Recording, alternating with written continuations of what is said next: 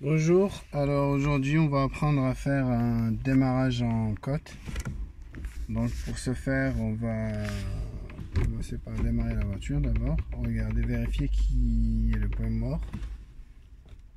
Sur ma voiture je suis obligé d'embrayer pour, euh, démarrer. Donc voilà. On passe la première. On appuie sur euh, le frein. On enlève le frein à main on monte doucement l'embrayage jusqu'à sentir un mouvement de la voiture, jusqu'à que la voiture bouge quoi. On lâche le frein.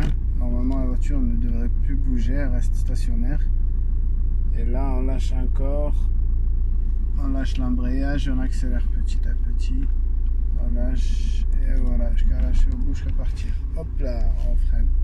Pour freiner, on freine et on appuie sur euh, l'embrayage pour pas caler.